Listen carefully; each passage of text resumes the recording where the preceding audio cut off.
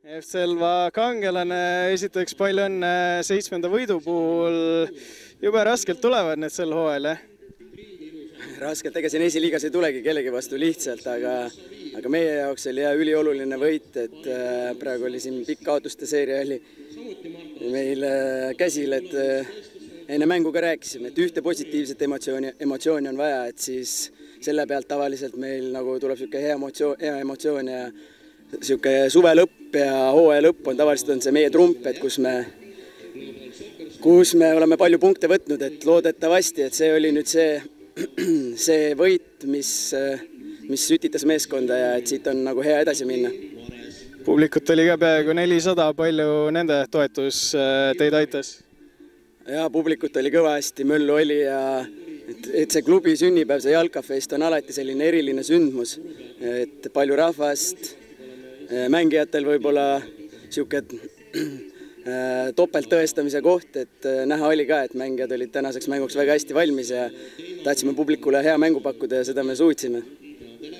Läksite täna neli korda juhtima, kas mingil hetkel kuidagi,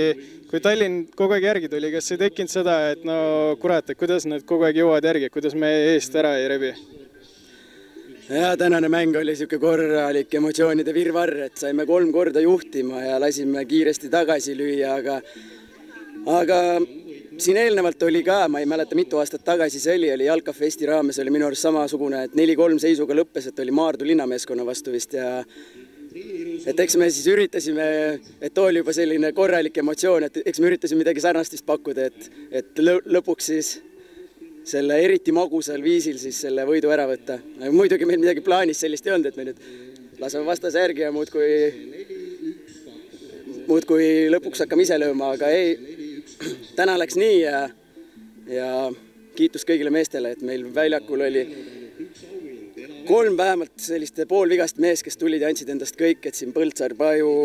Reilson, et kõik said väga hästi hakkama ja hea meel selle üle järgmine mäng Paide duubliga, kui praegu oli tabeli naabri vastu mäng, siis järgmine mäng on ka tabeli naabri vastu, et sealt ikkagi on